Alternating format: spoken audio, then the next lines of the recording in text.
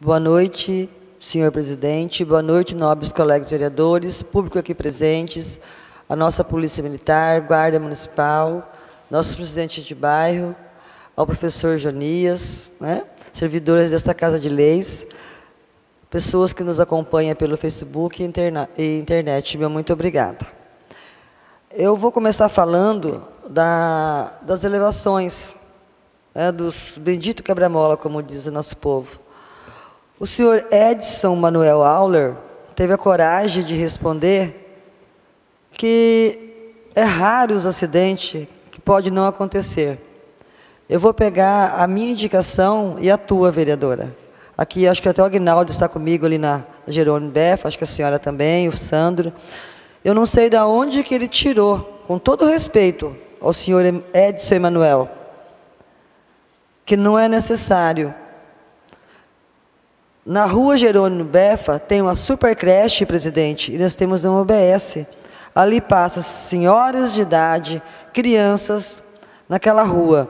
E nós temos uma Secretaria de Segurança, pessoal. Nós temos inspetor de trânsito, com todo respeito, nada contra a guarda. Nós estamos a favor dessa secretaria.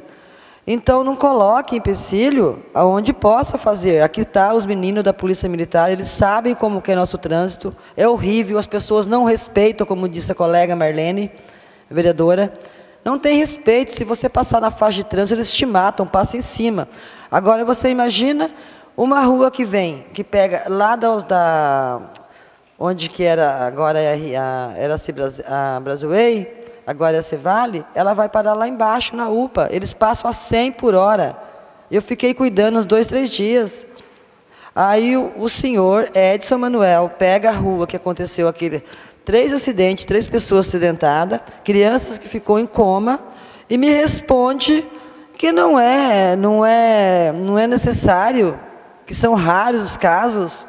Vamos pegar, aproveitar e pegar os Aldo Cruz agora também, que eu falei que eu ia dar 30 dias, já passou 60. Eu vou pegar abaixo, eu não sei os senhores vereadores, mas eu vou pegar abaixo assinado de casa em casa daquela, daquela localidade, Jardim Guaíra, BNH3, Jardim Futura e Jardim América. Antes que aconteça mais um acidente fatal e, percamos, e perdemos mais um morador de Guaíra. Porque eu moro por lá de lá, o Agnaldo mora por lá de lá, nós sabemos muito bem que é aquilo lá.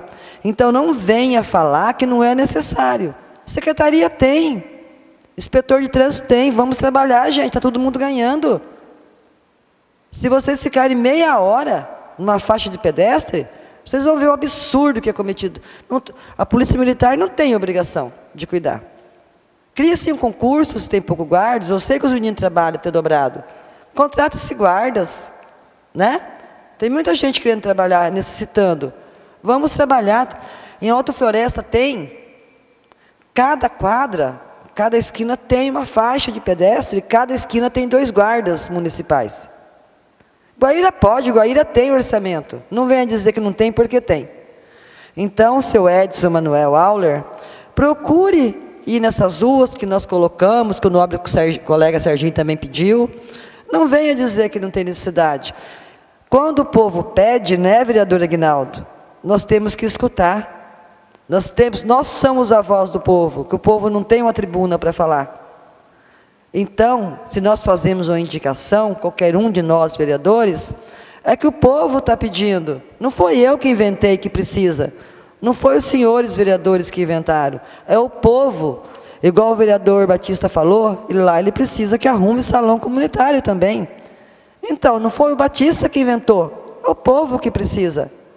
Nós somos eleitos, nós ganhamos salário que o povo nos paga.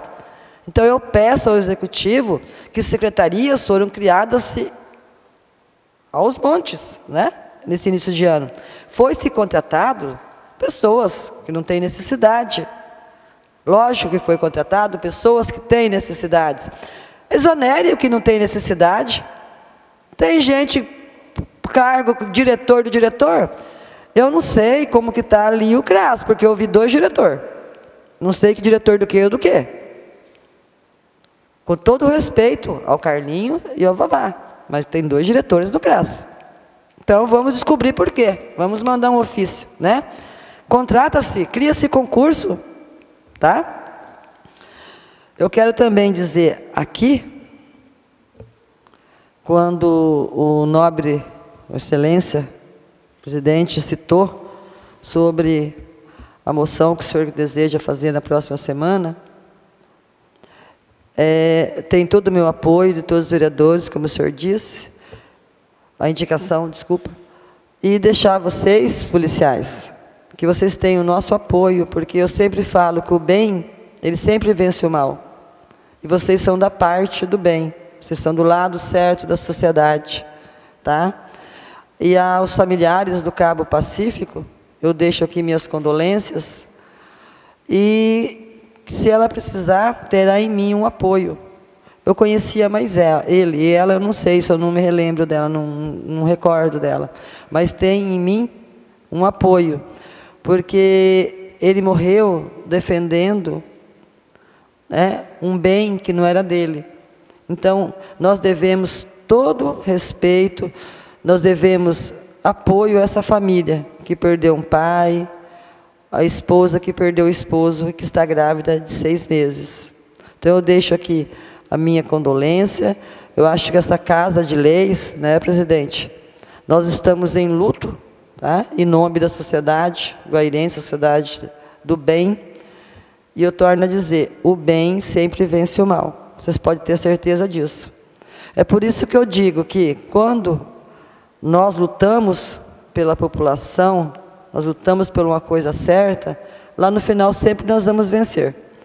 Cada um, eu sempre costumo dizer para o presidente, cada um tem uma ideologia política, né, presidente? Mas eu sempre costumo dizer que sempre nós devemos estar do lado daquilo que o povo pede, aquilo que o povo acha que é certo. E eu vou passar os meus três restantes, três anos ainda que nos resta, do lado desse povo que me elegeu. Não adianta me mandar ofício, resposta, dizendo que não é conivente, que não é necessário, que eu vou lutar até no final e vou provar que nós estamos certos e que o povo sempre tem razão. E vou tornar a repetir, então, a todos os moradores daquela região, me ajude nesse abaixo assinado, que vou juntar, vou anexar junto essas indicações. Eu acho que todos os vereadores aqui, eu não sei, os outros que foi negado, mas eu vou fazer. Eu vou anexar tá? Porque eu não quero ver mais uma criança, um adulto, um idoso sendo atropelado. Não sei se ele sabe o quanto é gasto quando a pessoa tem uma fratura, tá? Então é melhor prevenir do que remediar ou perder uma vida. E da Oswaldo Cruz, provavelmente sai um desvio. Mas até sair esse desvio, às vezes muitas vidas nós podemos perder. Então a gente pode fazer alguma coisa. Redutor de velocidade tem como pôr sim, eu sei que é contra a lei. Eu não pedi, eu nunca pedi. A primeira vez que eu pedi um redutor de velocidade. Eu sei que está na lei. Só que agora tem a Secretaria de Segurança. Nós podemos ter sim. E eu quero deixar aqui também, quando tem que elogiar, nós elogiamos, né, vereadores?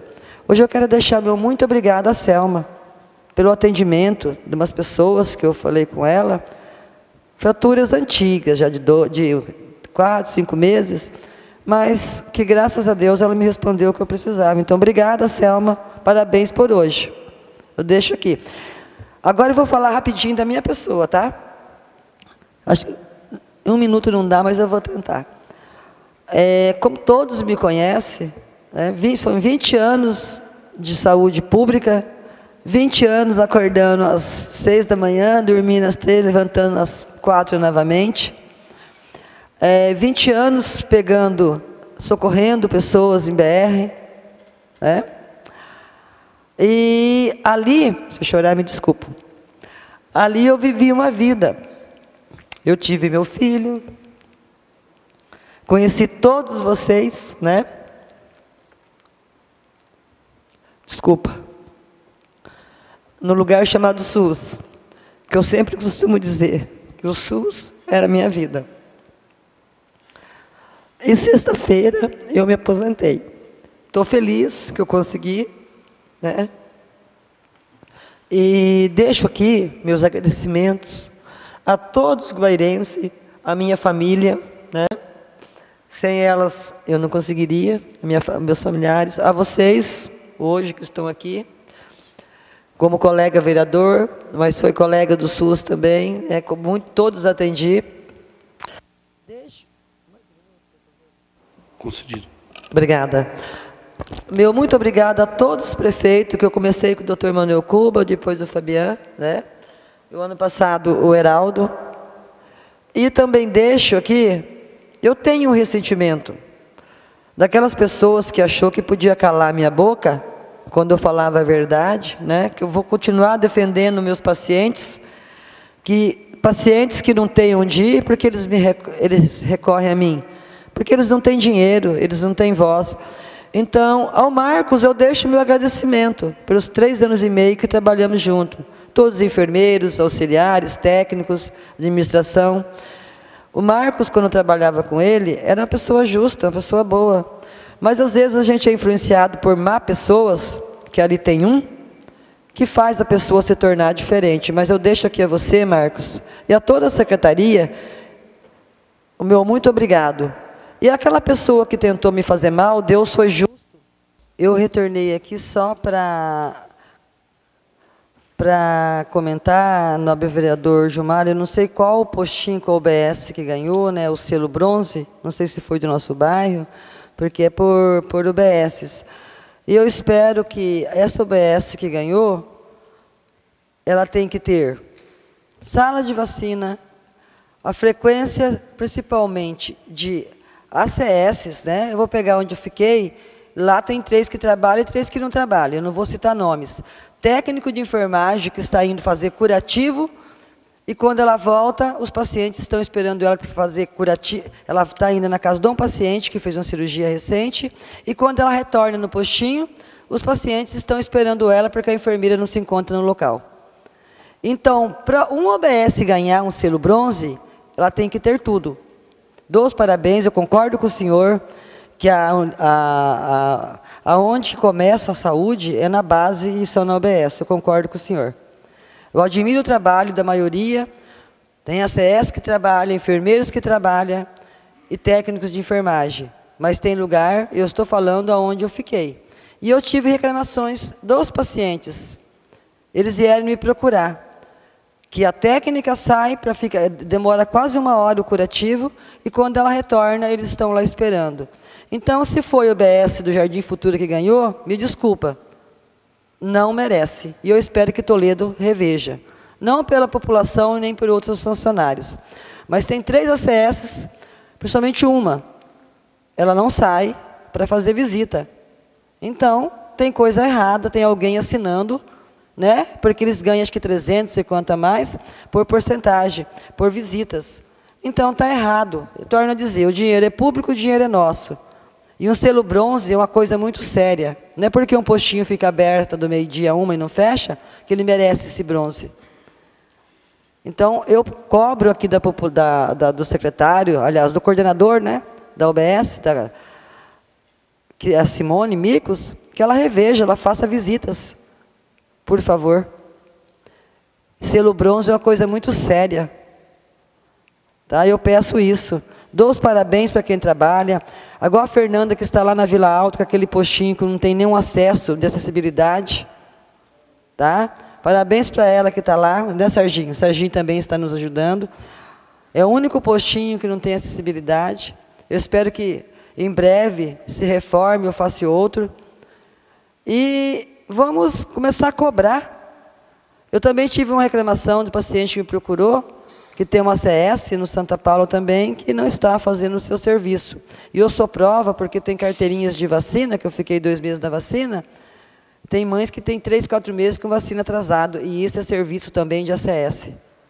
E é ali que começa a base da saúde pública, é na UBS. A ACS é para ir nas casas, é para visitar. E deixo meus parabéns, os três ACS, eles sabem muito bem quem é do Jardim Futura, eles trabalham. Chama Sidney, Heloísa e Marina. Vocês continuam o que vocês estão fazendo, que vocês vão longe. E para a técnica de enfermagem chamada Cláudia Souza. Parabéns e que Deus abençoe a vocês. E mais uma vez, obrigado a todos que aqui se fizeram presente e que nos acompanharam pelas redes sociais. Que Deus abençoe a todos.